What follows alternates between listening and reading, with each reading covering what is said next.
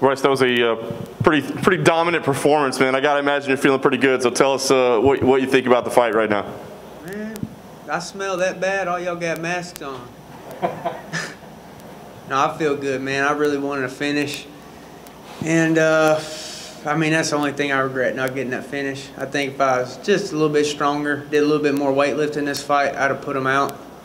But uh, yeah, I'm gonna work out, just get a little bit bigger. I'm, I'm a little bit smaller than I was last fight, but I didn't like my weight cut. So I just gotta find a little happy balance. Just, just a little bit bigger, just a couple more pounds. I was gonna say, I mean, mentally as the fight's going on, I mean, you had him in some very bad positions. So I mean, is it difficult at all to think like, why am I not, why am I not finishing this guy? What's happening here? I mean, was there any of that going on?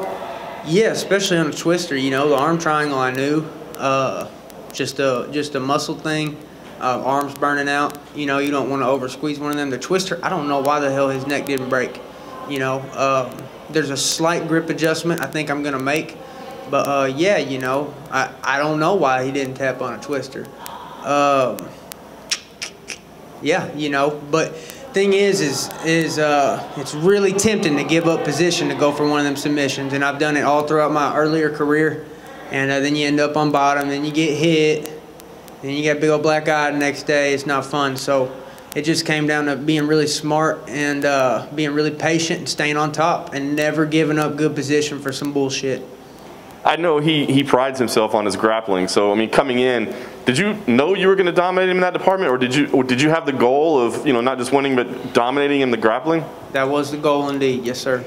was that just to prove a point? No, it's just because I like doing that. Fair enough. And last thing for me, uh, uh, on the broadcast, it was revealed that uh, Dana uh, called the truck and said, "You're getting your camo shorts. It's happening now. It's finally done." So, give us the reaction now that it sounds like the dream is becoming a reality. you heard correctly. The man himself said it. They said they're going to give me some camo shorts. And I said, "You're gonna give me some real camo, the kind that I like?" He said, "You can have whatever fuck you want." And so, you know, I'm gonna get the real deal camo shorts. So uh, that's awesome, man. I'm gonna come up with a little design, uh, you know, that I like. Hey, Bryce, question for you back here. Um, just kind of tell me about how the, this whole process has been. Obviously, with the increased concern in terms of the medical aspect, the coronavirus situation, how has that process been uh, for you guys as fighters? Man, you know, I relied a lot on my uh, my coaches. You know, you got Rolly, Matt Hamilton, of course, old man Willie uh, and my, my main man TJ Downtown Brown, Jeremiah Colum, Jamie Canuto. Um, you know, it just came down to a couple training partners, and that, that's all I had. And uh, it don't matter. That's all I need. You know, I believe in the people around me uh, more than I believe in myself. You know, I believe I got the best teammates in the world, the best coaches in the world. I know I do. You know, and uh, they're the best because they're the best for me. You see what I'm saying? Uh, you could put me with the best coaches or whoever people say the best are, but they don't know me. They don't, you know what I'm saying? My coaches know me, my teammates know me. That's why I like them. That's why I believe that they are the best. That's why I know they're the best for me. Now, obviously, uh, fighting in here, was the biggest difference is, you know, obviously no fans. How was that for you today? It's cool, man. It remind me of fighting in the backyard.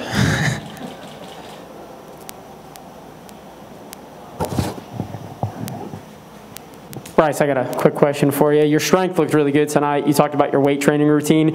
How did the weight training routine, how did you do it, you know, not knowing with, you know, the fight being postponed, pushed back? Did you stay on the same routine? Did you modify it a little bit? And how did that affect your weight cut? I didn't lift as much weights, but, uh, you know, I did a lot of cardio. My cardio is really good, but I just, I think I'm to lift a little bit more weights next time. I'm to call up Sean Ross, get a little bit of a better weight program, start going three days a week. I was probably doing like one or two days a week lifting weights, which is, you know, uh, I could do more. Bryce, quick one for you right in front of you, straight ahead. I'm just curious what your reaction was to the Jacare news last night. Did it stress you out or did, it, did you put it past you? Man, I ain't worried about none of that stuff, man. I'm trying to get some corona in my system, build up the immunity. You know what I'm saying? I ain't worried about none of that. That stuff's just going to make your immunity stronger. They're probably going to try to test me for the vaccine. And I'm going to have to start charging y'all. Anything else? Uh, no, ma'am.